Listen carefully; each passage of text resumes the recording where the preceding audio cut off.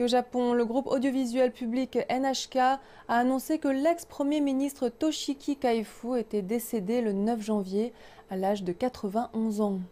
Il a été Premier ministre de 1989 à 1991. Toshiki Kaifu était surtout connu par avoir envoyé pour la première fois la force japonaise d'autodéfense dans une mission à l'étranger, à savoir les opérations de déminage dans la région du Golfe.